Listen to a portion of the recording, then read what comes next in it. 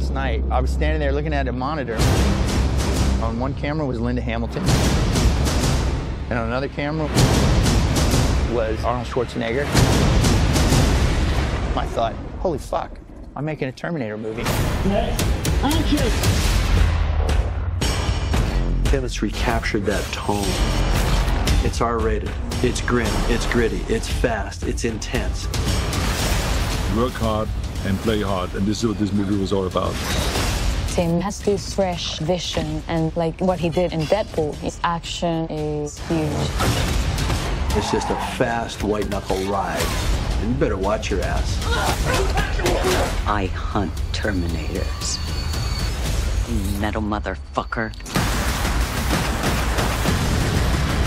It follows tonally in the footsteps of T1 and T2.